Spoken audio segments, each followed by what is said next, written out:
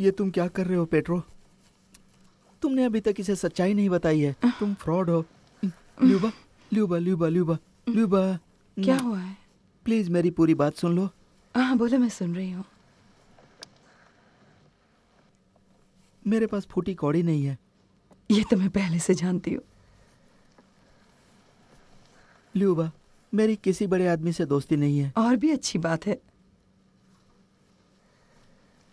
मेरे पास कॉलेज की डिग्री भी नहीं मैं है। खुद पांचवी फेल हूँ।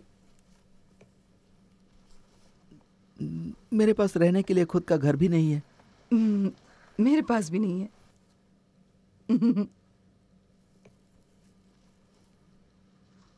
ये सब जानने के बाद भी तुम मुझसे प्यार करती हो? हम्म, अगर मैं कह दूँ कि मेरा एक बेटा है तो भी प्यार करोगी? और ये जानने के बाद भी कि मैं एक ठग रह चुका हूँ?